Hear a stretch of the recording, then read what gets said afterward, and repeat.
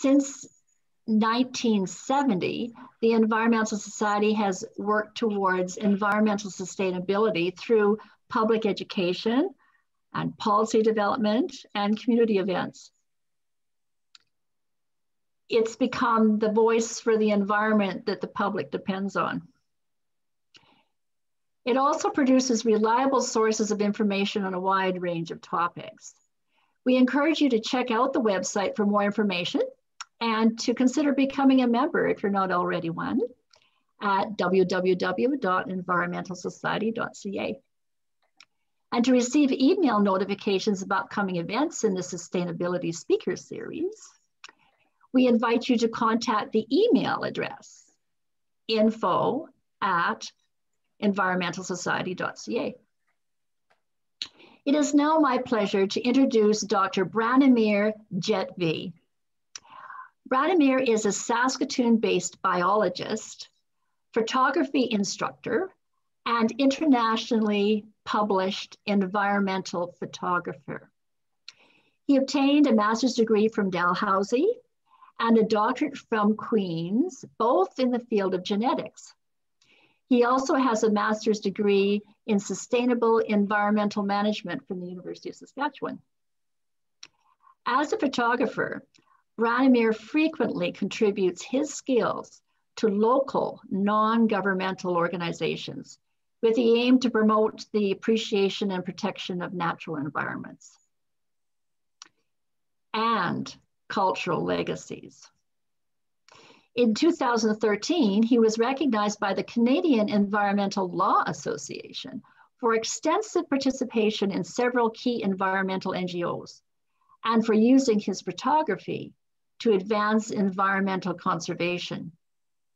Branimir has also published two award-winning books on prairie conservation, The Great Sandhills, A Prairie Oasis, and The Islands of Grass. As a volunteer, Branimir served several boards of directors for several environmental NGOs. He's the former president of Nature Saskatchewan, and Saskatoon Nature Society. Currently, Branimir is working closely with the Canadian Parks and Wilderness Society, the Saskatchewan chapter, and with Wild About Saskatoon, the group that puts together the Nature City festivals that we enjoy. Welcome, Branimir.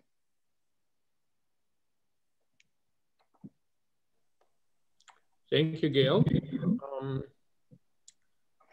We'll start with sharing screen.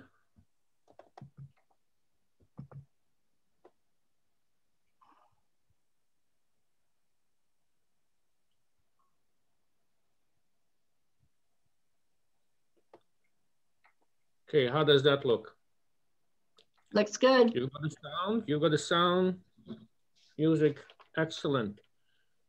So, uh, hello, good evening. Thank you for um, attending the, this webinar from the Saskatchewan Environmental Society. And I would like to uh, thank Gail and people from SES for giving me the opportunity to give a presentation tonight. I hope we'll have a lively discussion at the end.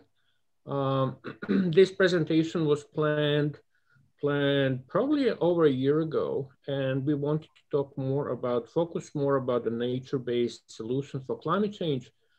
But then almost a year later, things changed, and uh, there are a few new topics that emerged. So I changed my presentation a little bit and focus more on biodiversity and how the measures to protect biodiversity could help us deal with climate change to uh, mitigate and reduce the emissions and also um, have some measures to combine protection of biodiversity and climate change mitigation.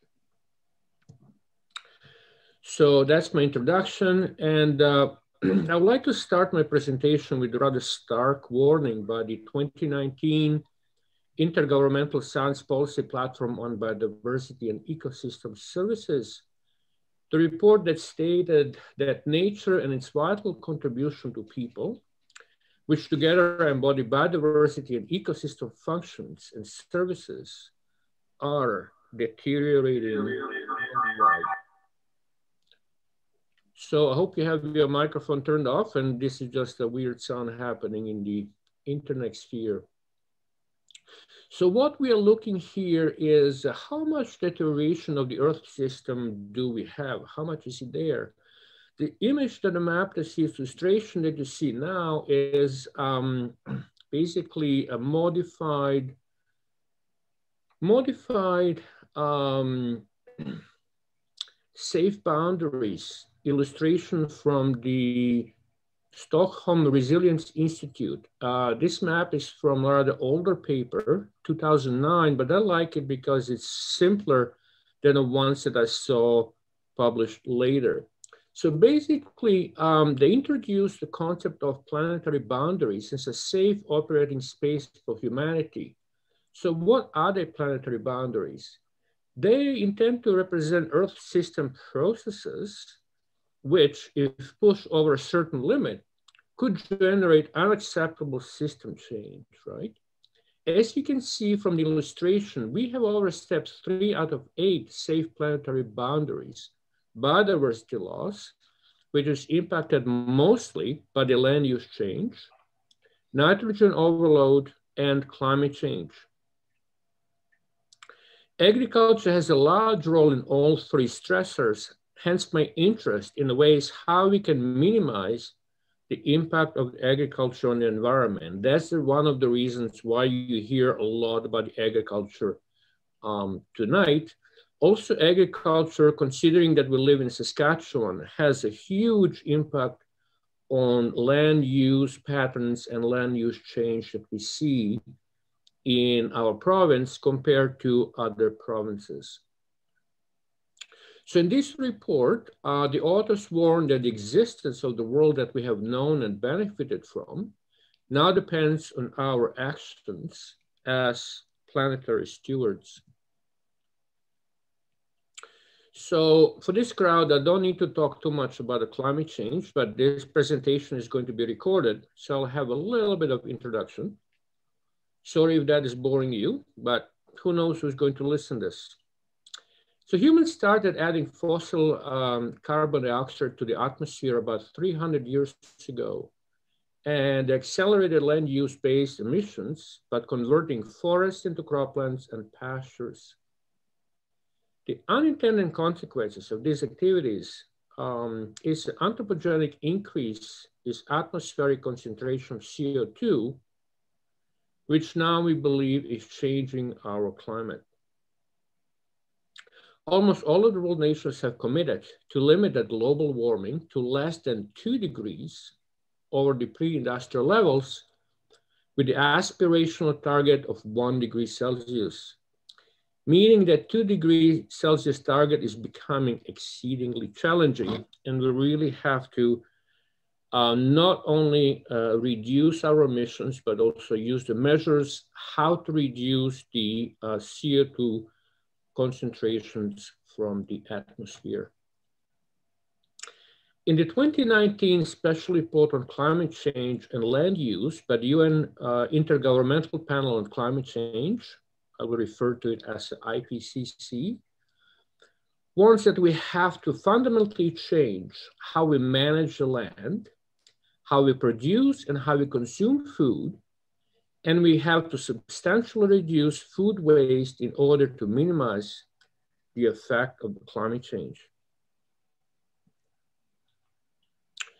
In the same year, 2019, Intergovernmental Science Policy Platform on Biodiversity and Ecosystem Services, which is a mouthful, so I'll refer to it later as IPBES. This is the organization parallel to IPCC so IPBES released an assessment report on biodiversity and ecosystem services.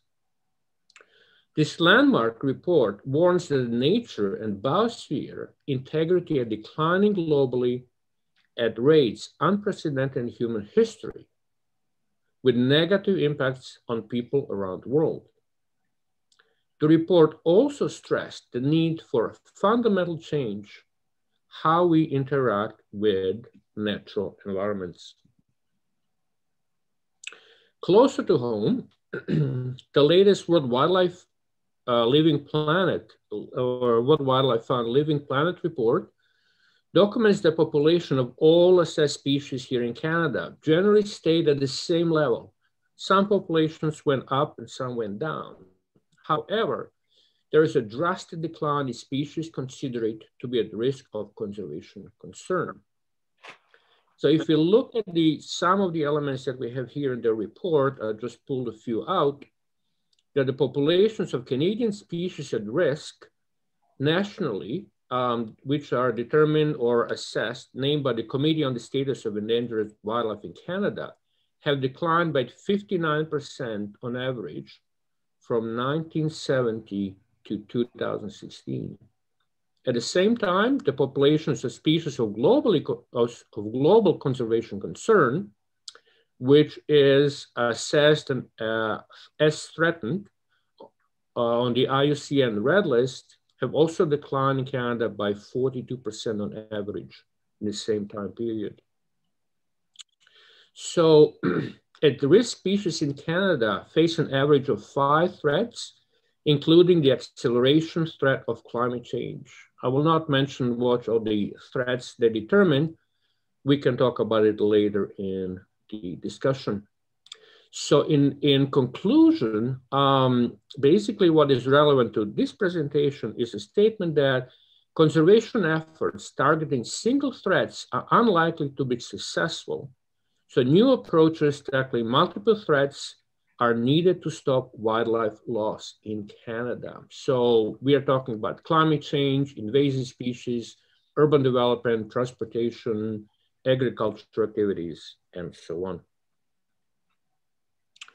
So we have established two major sources of global threats, which is a climate change and biodiversity loss, which are really kind of critical for us to tackle as soon as possible to not to get in even more difficult situations.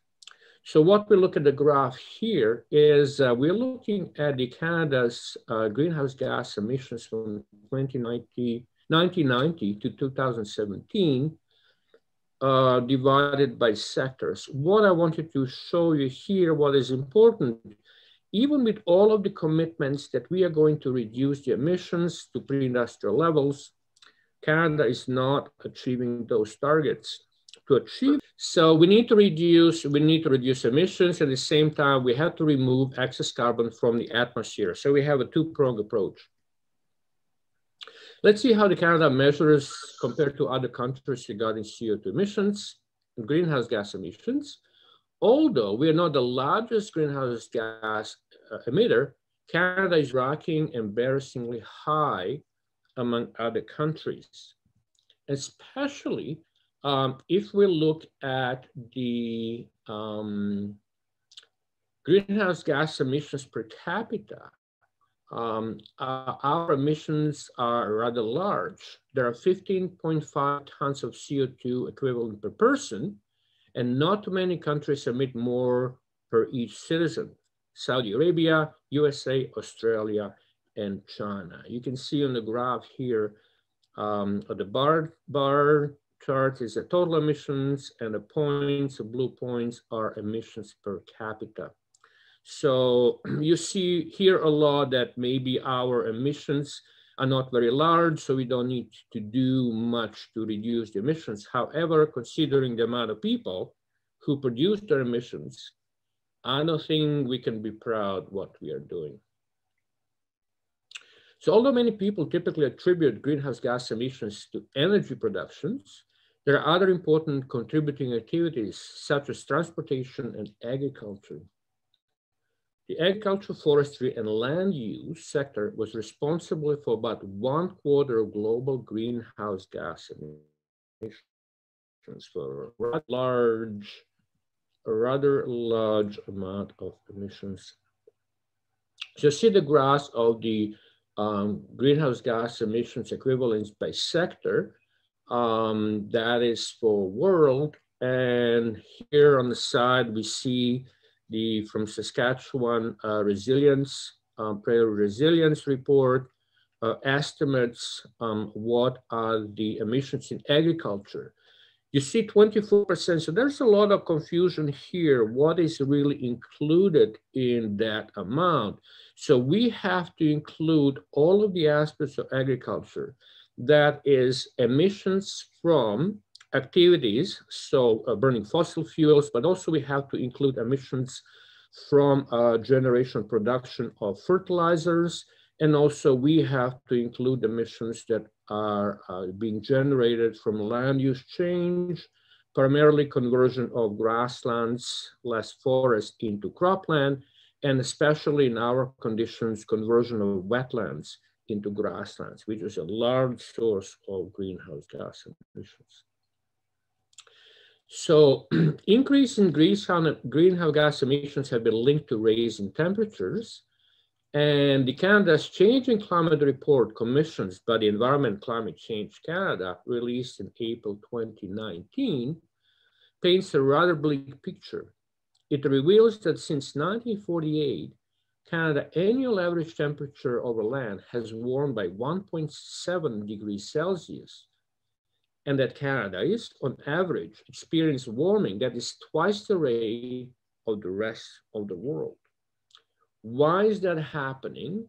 We see that there is a higher warming rates are seen in the north, the prairies in northern British Columbia. So because of our, our geographical location, having a large portion of the Arctic environment, which is uh, rising in temperature much, much higher than the rest, that is why um, our average increase in temperature is higher than the world. If we just look in Canadian North, the average increase is about 2.3 degrees Celsius, almost three times the global average. And that has a, quite a profound uh, impact on the people living in the North and also the wildlife uh, that will not have time to um, adjust to such rather drastic changes in climate conditions. Together with the rise in temperatures, how we're doing with time, okay. Together with the rising temperatures, um, the ECC report reveals Canada experienced increase in precipitation and also extreme fire events will become more frequent and there'll also be the increased chance of coastal flooding. And we have been witness to the large forest fires that are increasing frequency and intensity over the last few years, as well of dramatic um, floods. So more intense rainfalls. There was a study that showed that not, uh, maybe there is a slight change of actual, the amount of rainfall received during the year. However, those rainfall events are much more intensive and, and happening with strong intensity over the short period of time. And we will have to adjust our infrastructure to cope with those sudden uh, uh, rainfall, intensive rainfall events. What you see here is um, basically um, rainfall of flooding in Maple Creek. That was in June of 2010. And I was there, actually, this is the worst case that impacted me. I was um, leading a photography workshop in the Sandhills. It was raining so much, was muddy that I took the group to Maple Creek. From Leader, we drove to Maple Creek and tried to do some photography there. And while we were there, it's a huge wall of water came into the city because one of the dams near, near the city breached and huge amount of water just flushed and created quite a huge damage in the city. Um, the ECC report warning that, um, as I said, the intense severity of heat waves and rainfall will become more intensive. Um, also, what we can expect to happen that under medium emission scenarios, glaciers in Canada will lose between 74 and 96% of the volume by the end of the century, which could again impact the amount of water that we're getting for drinking for our cities and for agriculture irrigation. Uh, the cost of extreme heat events to the society on the rise. From 1982 to 2008, the cost of catastrophic insurable events annually range from 250 million to about 500 million. Since 2009, so in last uh, 10 years, in eight out of nine years, these costs have ballooned up to 1 billion or more a year with about 1.8 billion on average. So what you see here is an image that uh, one summer we were down in East End on the NCC Old Man on His Back Heritage and Conservation Area. And there's a huge amount of smoke that originated from forest fires in North Saskatchewan. So even we have a large province, but even forest fires that are happening in the extreme north of the province will have health impact, could have health impact people living in extreme south. Um, so when you look at the focus of the climate mitigation is to reduce the energy transportation and agriculture sector emission, so this requires massive deployment of low carbon technologies between now and 2050, which is our kind of artificial targets. Further progress towards these targets could be made by deploying negative emission technologies, or NETs, which remove carbon from the atmosphere and sequester it and store it for long periods of time. However, it is very important to point that these negative emission technologies are best viewed as additional component of mitigation effects, not a substitute. So that when people say, oh, don't worry, we'll have this negative emission technologies, we'll just capture the carbon, we can continue with emitting greenhouse gases as nothing happened. That is not going to work. So uh, in 2019, the US National Academy of Sciences, Engineering and Medicine released a report called negative emission technologies and reliable sequestration. So they identified six major technical approaches to CO2 removal and sequestration. That is coastal blue carbon, terrestrial carbon removal sequestration, bioenergy with the carbon capture and sequestration, then more technological, it's direct air capture, carbon mineralization, and geological sequestration. So I will not go into detail what each one does. What I'm going to do, I'm going to focus on first um, three, which are uh, more nature-based. There are four negative emission technologies that are ready for the large-scale deployment. That is a change in the forest cover, which help sequester carbon. Um, changes in forest and grassland management, uptake and storage of carbon by agricultural soils, we can do more there. And then also the bioenergy with carbon capture and storage. Those uh, have low to medium cost and provide the co-benefits such as improved forest and agricultural productivity, soil nitrogen retention, and soil water holding capacity. I will focus on biology-based technologies, the first three on the list. One thing that I want to mention here is um, because of the food demand is expected to increase by mid-century, repurposing a significant amount of current agricultural land that we use for food, and instead, if we try to produce feed, feedstock for bioenergy, uh, we might have a significant effect on food. Uh, uh, we have amount of food that we have, and also those technologies could have far reaching impact of biodiversity. So I do have a little bit of mixed feeling about the bio, uh, bioener bioenergy with carbon capture and storage. So what are the possible approaches to uh, uh, land carbon, terrestrial carbon capture and sequestration? What we could do is include, we could do forestry practices that avoid conversion of forest land to other land uses, basically deforestation. Conversion of non-forest land to forest, afforestation, reforestation, so getting more woodlands.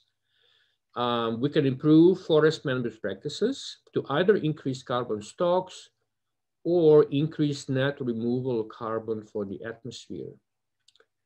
We can also uh, maintain healthy and biodiverse grasslands, especially perennial grasslands, native non-cultivated areas, which capture and store large amount of carbon below ground, where it relatively stable uh, in, in, forms of soil organic carbon, inorganic carbon, and litter. This has important implications for climate change mitigation. Um, problem that we have with the grasslands and, and mitigating climate change and then is with a huge rate of conversion of native e ecosystems to manage land, particularly cropland. Um, and that rate of conversion has been a large net source of CO2 escape to the atmosphere with a significant depletion of soil carbon stocks. On average, cultivation of previously untilled soils, especially native grasslands, can result in an average decrease in soil organic carbon on 30 percent in first five years of conversion.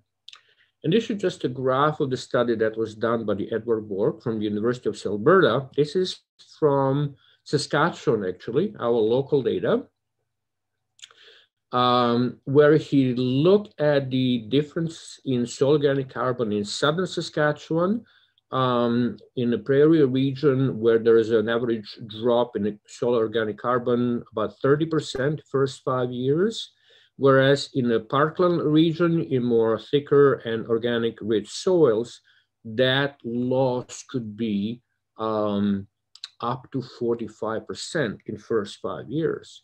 So there's a one trick here when we think about stories, when we hear the stories that, yes, uh, carbon capture, sequestration by agriculture, it's awesome, it's going to solve our problems.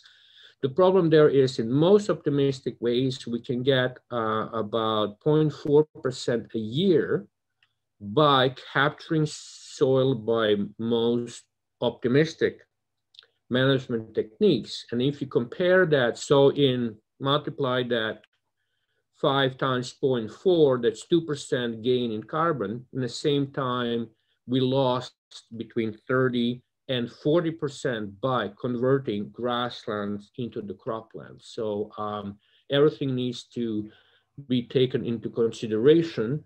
And um, what is the realistic? We have to think about a point in time when we do those, when we do those calculations. And the reason why the perennial grassland captures so much soil and, and store it underground is the root system of grasses, which if you look in the left corner there, they're way stronger when deeper and actually the large amount of biomass in the native perennials is underground compared to crops which have a relatively small roots and majority of the background which is harvested and, and a lot of it is being lost. So a large range of ecosystems contain irrecoverable carbon, which is susceptible to release land use conversion. And once lost, it's not recoverable on climate impact. So this is a graph study that was recently published in Nature Climate Change. They look at the they look at the times 30 years. So from 2020 to 2050, that's our target to reduce the, the, the uh, effect of, of um, uh, greenhouse gas emissions. If we look at the intact uh, ecosystems on the left, we have a 100% added soil carbon in biomass carbon. So green is carbon above ground and brown is carbon below ground. If we do land use conversion, whether that is converting grasslands to cropland or parkland to cropland, we lose this total 100% of the green biomass above, gra uh, above ground biomass. In terms of soil, we don't lose everything, we just lose a portion of it there is a large amount of soil uh, carbon, which is stable, and we do not lose it with conversion.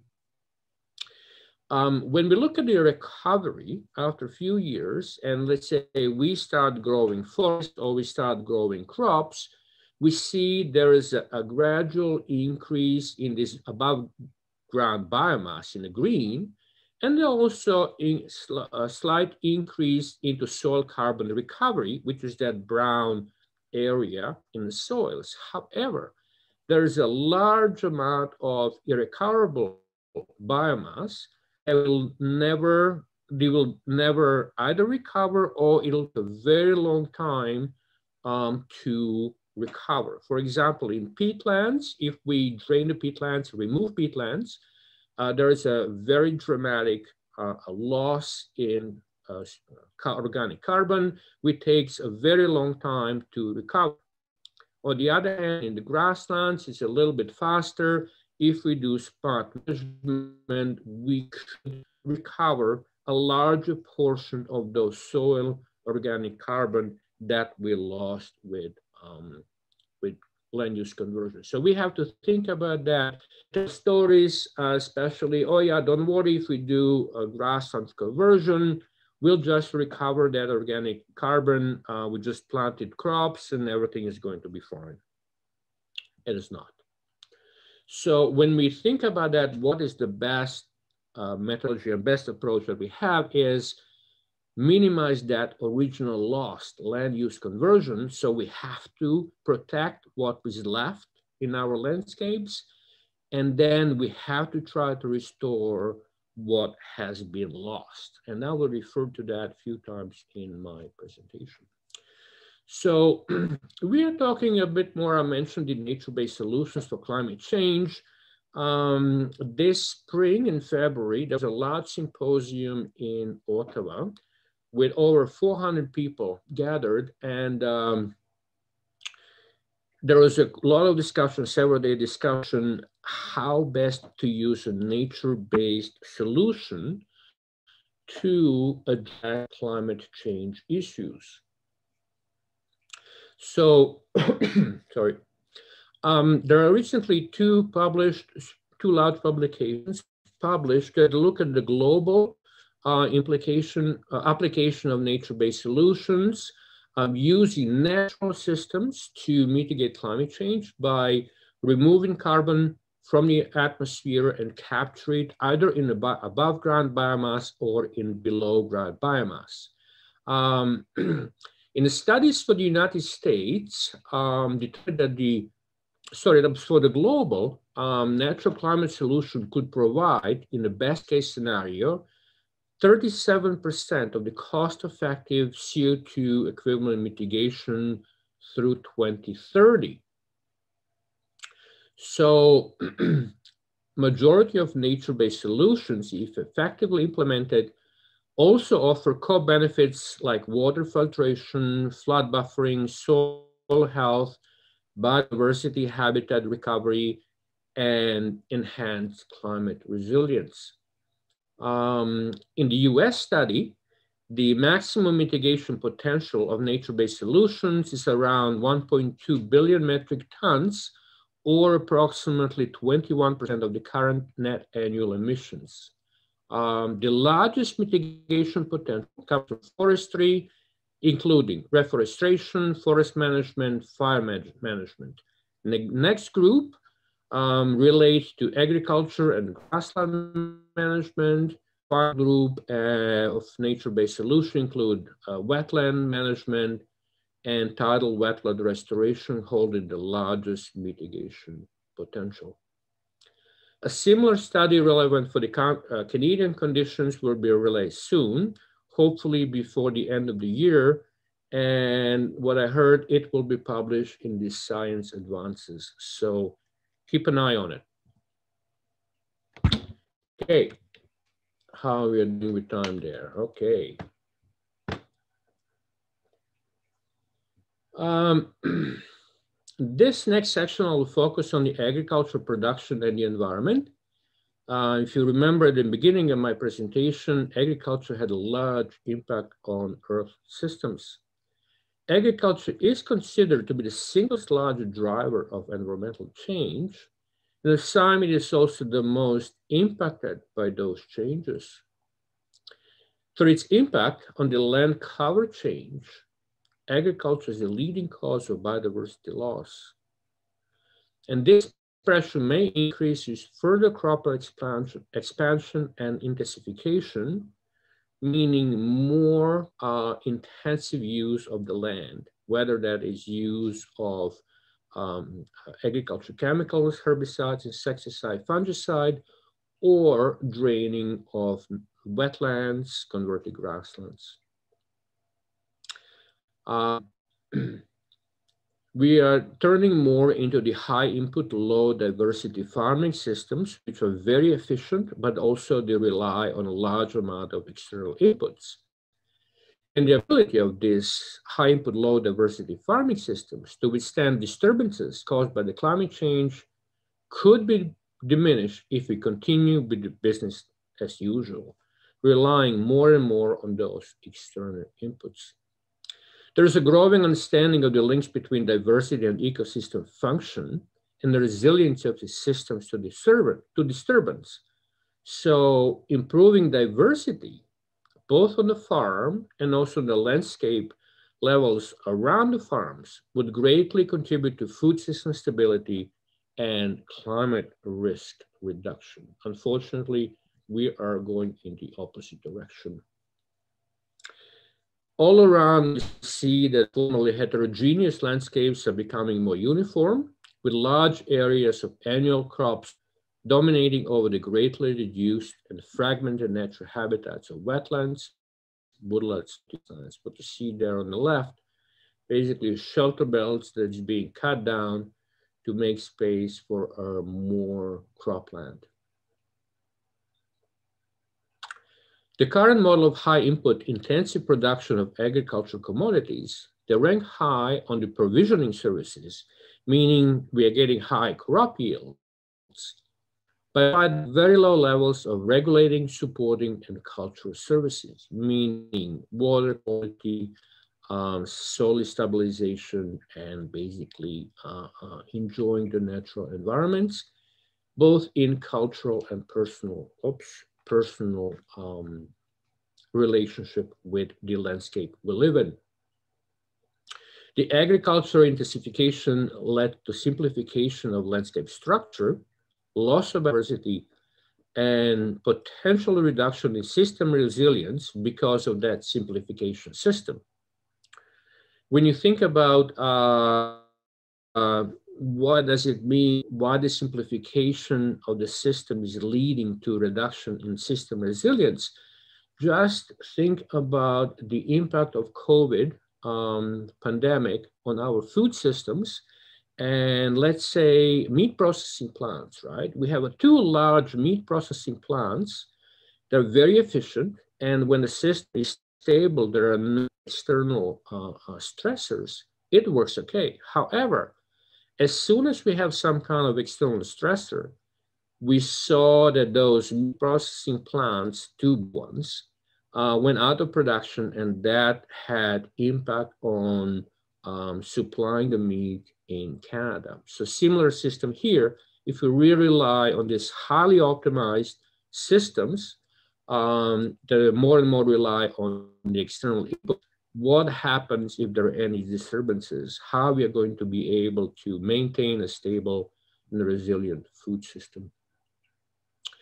In addition, loss of biodiversity threatens provisioning of ecosystem functioning services, ultimately impacting food security and agriculture sustainability.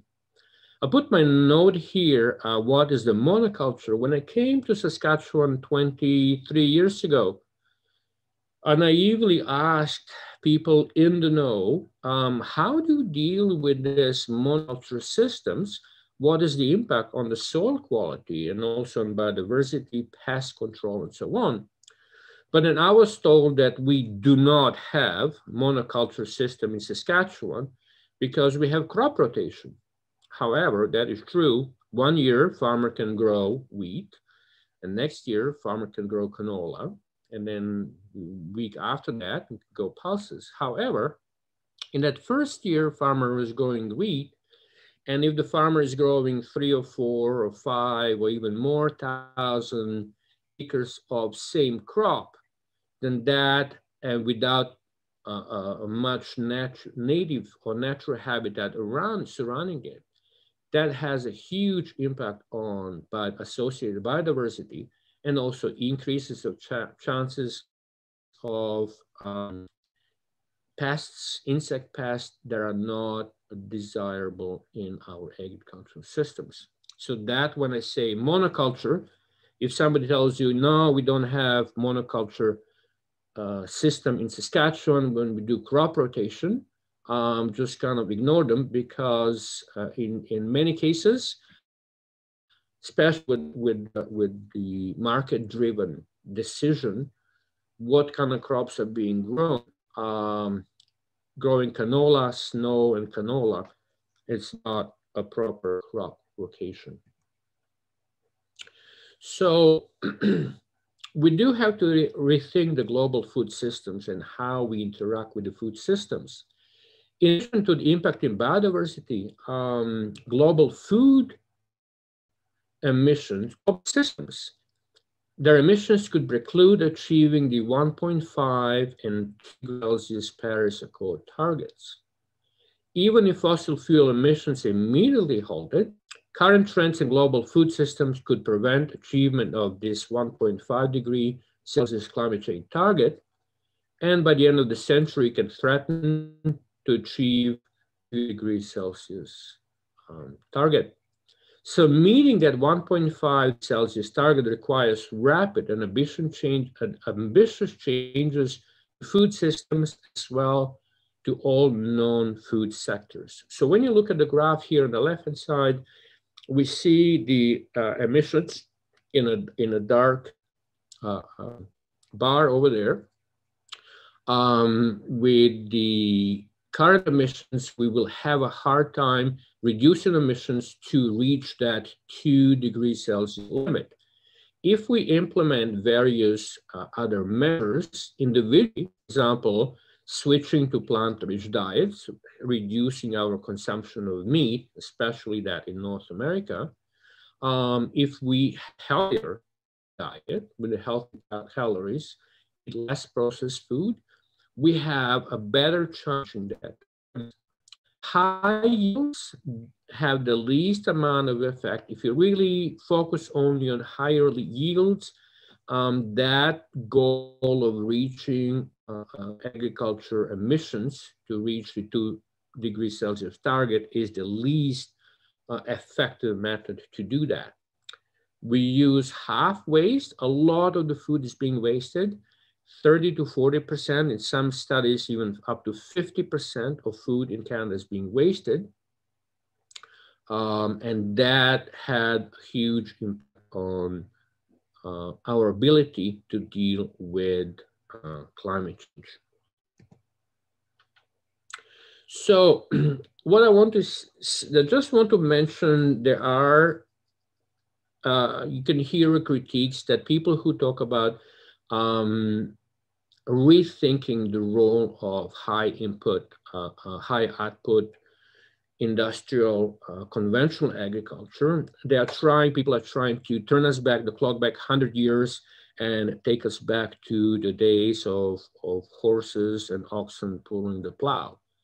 I'm definitely not talking about that. Um, we do need modern technologies, knowledge, um, to increase the yield and also to have to feed the people and also to reduce the amount of greenhouse gas emissions and um, a fertilizer leaching nitrogen, phosphorus leaching in the environment. So I'm not completely against technology. Technology is very important, but technology is not the silver bullet that is going to solve all our problems. The problem that I have is with the some aspects of the conventional high input agricultural practices is the amount of agriculture inputs. So in the effort to increase the um, increase and maintain crop yields, agriculture has rapidly intensified over the last six decades, relying heavily on agrochemicals, fertilizers, insecticides, fungicides, and herbicides.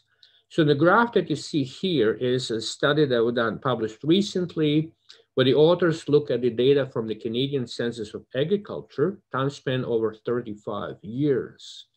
And they found that most of the agricultures in Canada were applied in the prairie and, and central region, which is not surprising. They together represent about 97% of the cropland area.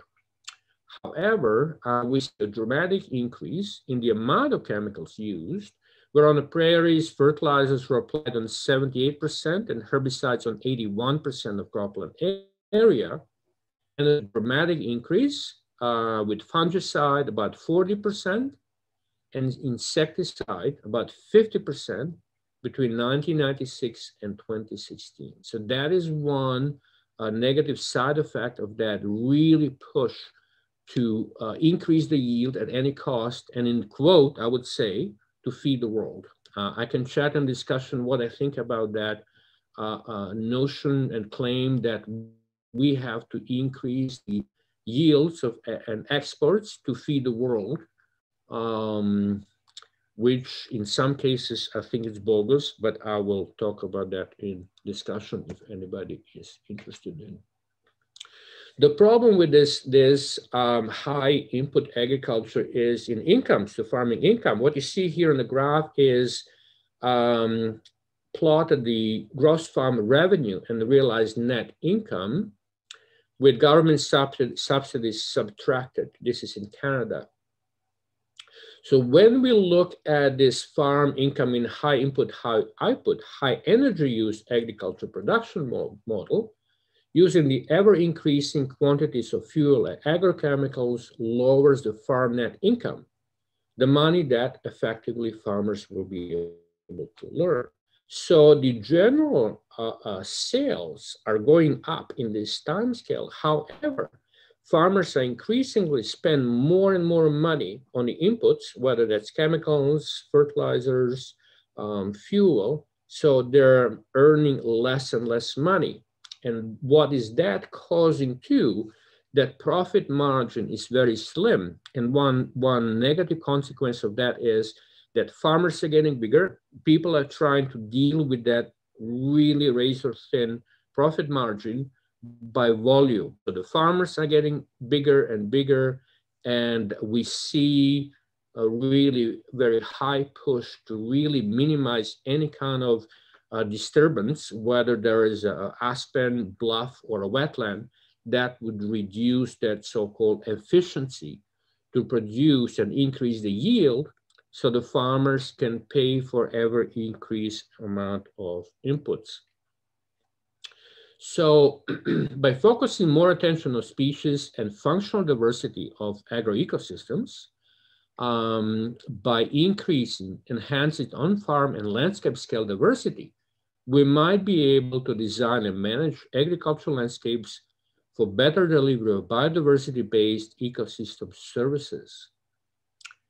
Application of agroecological practices will increase the stability of the system it will help reduce the amount of agrochemical inputs and improve farm profitability. So in the rest of my, my talk, I will talk quite a lot about that, increasing the level on of diversity of and adjacent areas, which will help both biodiversity and the bottom line.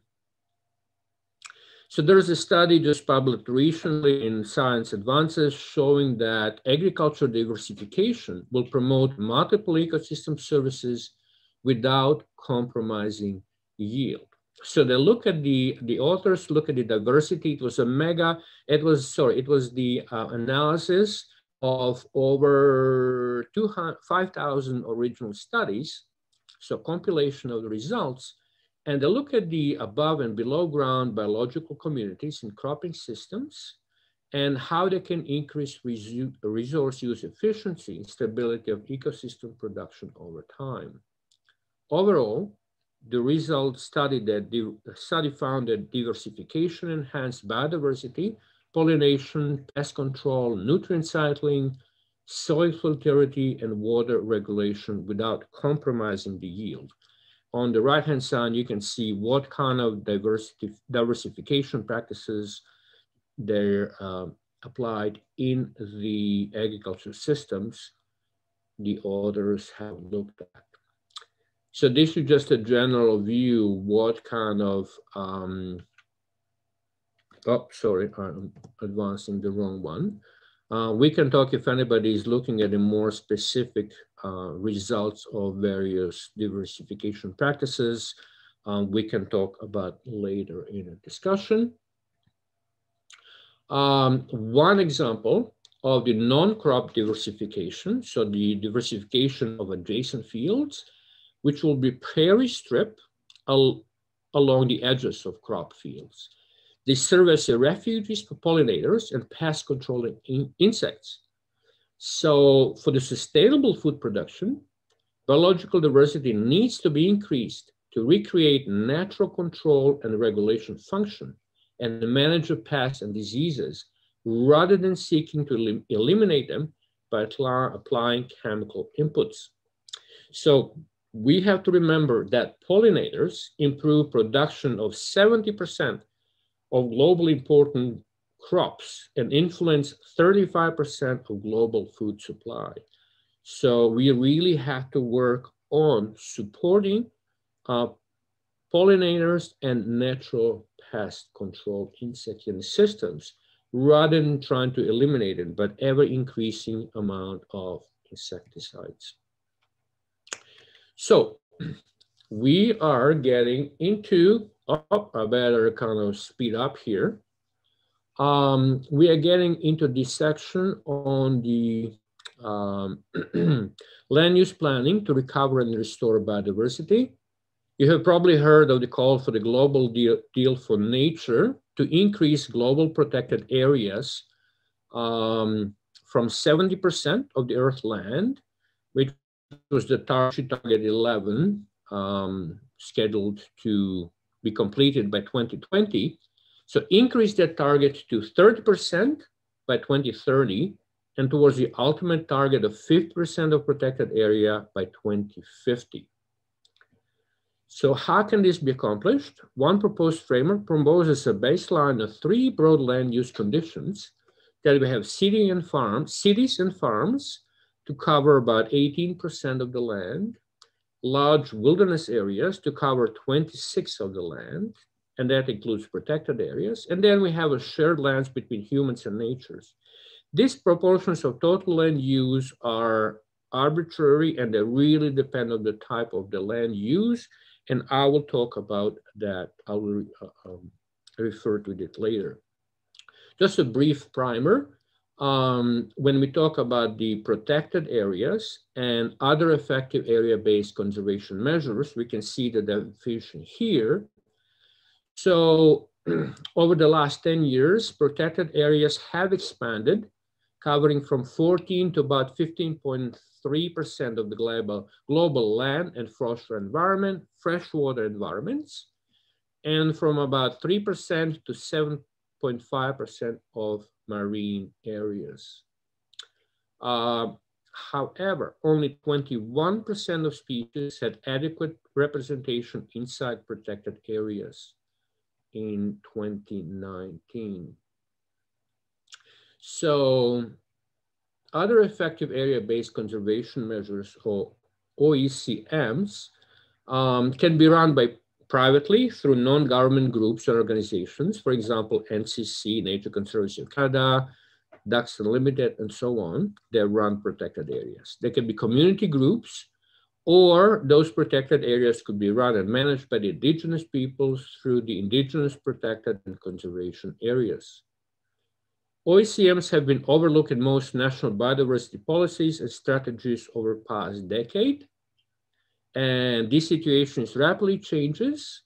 So uh, hope is that OECMs could help to address representation shortfall in the global protected area network.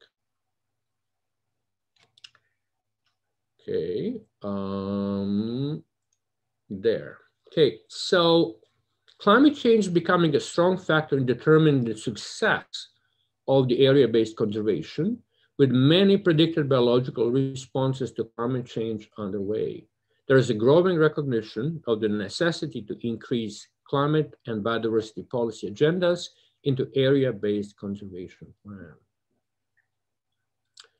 Um, this map represents attempt to assess the global map of areas of high importance for biodiversity protection and carbon sequestration um, using two different approaches to conservation. In blue, in, sorry, in green, we see proactive measures where there is a map priority areas of low threat by high irreplaceability. So they're largely intact land. Currently they're protected 20, 12, sorry, 12% in this category. And reactive conservation, where we put priority on high threat and high irreplaceability areas. So these are the large refuge for a large number of species which are in imminent threat from being uh, damaged or impacted by human, uh, uh human activities. Currently, there are about 21% of these areas are protected. So we do put more emphasis on those areas. Similar studies are being done for North America, where there are mapping areas to protect biodiversity and also find the areas to have a large effect of mitigating climate change. Uh, we can do that by protecting and restoring peatlands, forests, and gra grasslands to enable carbon sequestration and storage. In this map, what you see, biomes boundaries indicated in black and protected areas are indicated in brown. So by mapping these uh, um, climate smart protected areas, um, we can uh, find areas where is the best target to increase the number, either the size of the existing reserves or increase the number of protected areas.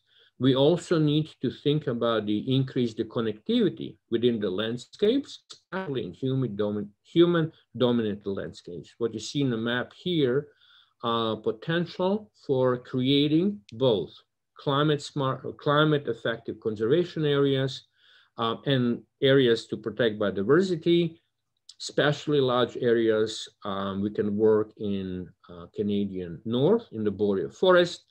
There's a little bit about the uh, uh, Rockies and especially on the West Coast. And those areas really have now, they are reactive uh, reactive conservation areas where their species are imminently threatened. So on the, on the biodiversity scale of the ledger, large protected areas um, are still very important and a cornerstone of biodiversity conservation. They provide suitable space for species that are susceptible to disturbance or habitat fragmentation. However, species populations within and outside protected areas continue to decline. Even large parks and protected areas will continue to lose species over long term if they're isolated from one another by unsuitable habitat. For example, many migratory species use habitat that are outside of the protected areas for large part of their life cycle. Focusing on a large protected area conservation strategy alone will not be sufficient without including conservation efforts to protect surrounding small, often isolated habitat patches.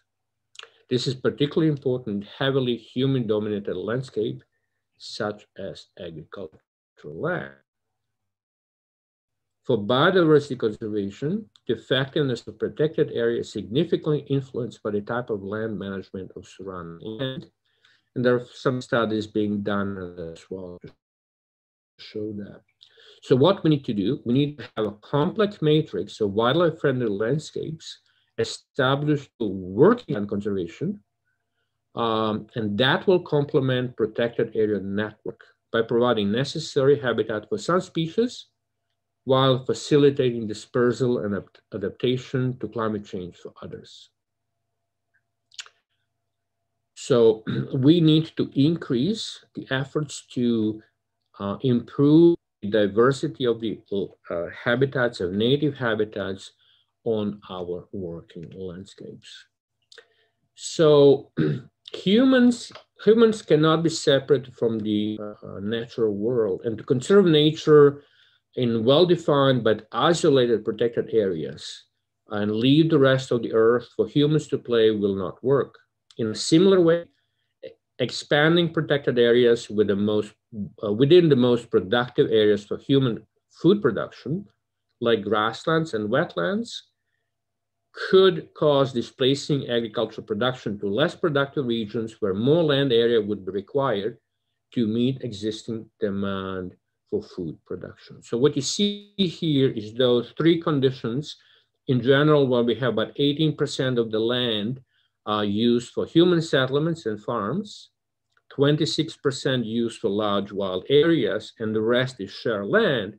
Those proportions vary between um, cities, um, agriculture areas for agriculture, food production, uh, protected areas, or key biodiversity areas. So this is basically flexibility, what kind of system we can use and assist nature to find enough space and suitable to um, have achieved the goal of conservation, biodiversity conservation.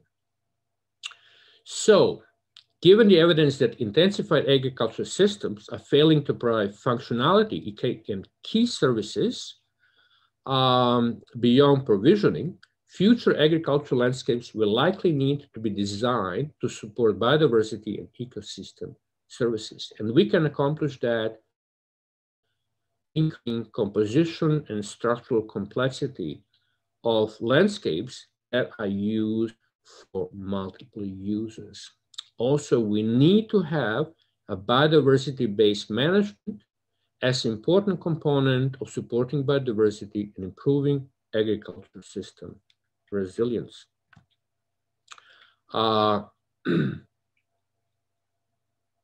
as I mentioned before, the networks of protected areas need to be complemented by the natural areas in shared lands in these working landscapes. And a few studies show that at least we need to recover and restore about 20% of the native habitat area within those working landscapes. Um, these restoration efforts can be implemented in ways to minimize trade-offs with farm productivity. For, we, for example, we can use uh, shelter belts, we can use prairie strips, um, there are studies showing that up to 10% of agricultural land can be covered in, in prairie strips to get ecosystem services without loss of crop yield and profitability. So how do we sustainably produce food and protect wild nature? In conclusion, if we want to move agriculture for its current low role as the world's largest driver of environmental change, we need a paradigm shift a new system thinking in which the sustainability of food production, maintenance of ecosystem function, mitigation of climate change, and protection of biodiversity presents a core strategy for agriculture development. Production of food, fiber, and fuel to support human production needs to be based on sustainable and resilient agricultural systems, especially in the context of increasing variable climate change conditions. We have to conserve vital ecosystem services in farming environments that support long-term agriculture production while minimizing social and environmental impacts on farm and across agricultural landscape.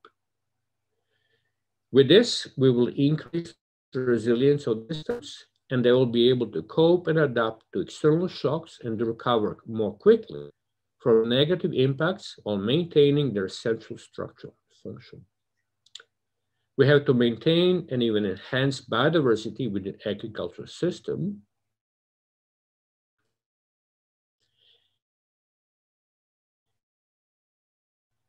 Uh, and we also have to try and to reduce the trade-off of environmental change. So for the protected areas,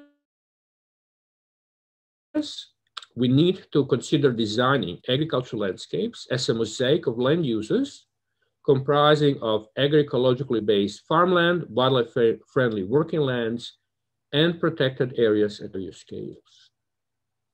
Protected areas are clearly defined geographic spaces. However, they can be less effective if are they embedded in a uniform and degraded agricultural land matrix. To achieve the long-term goals of protected areas, we have to think and we have to act in more proactively for the land use planning to create that matrix of wildlife-friendly agricultural land. So with this, I will end my presentation and ask for questions.